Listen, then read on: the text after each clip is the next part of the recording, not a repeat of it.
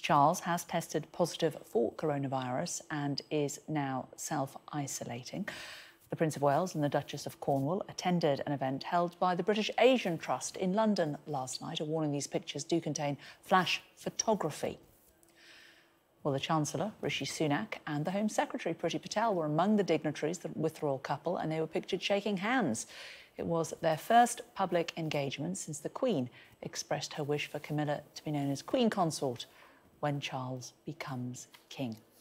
Our royal correspondent Rhiannon Mills joins me now. One would imagine that the royal family are being tested relatively frequently, Rhiannon, and this was a test that he received this morning.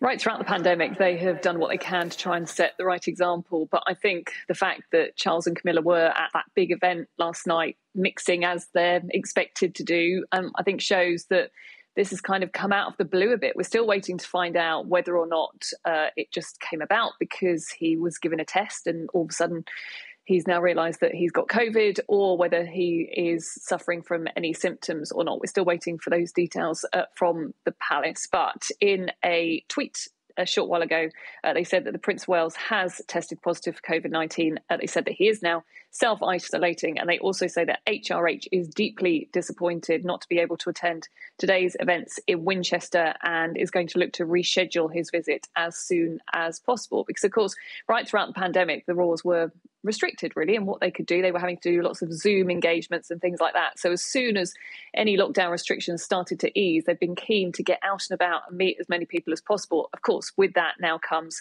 meeting more people, not wearing face masks. And so, in some ways, they are very exposed when it comes to potentially um, contracting COVID 19.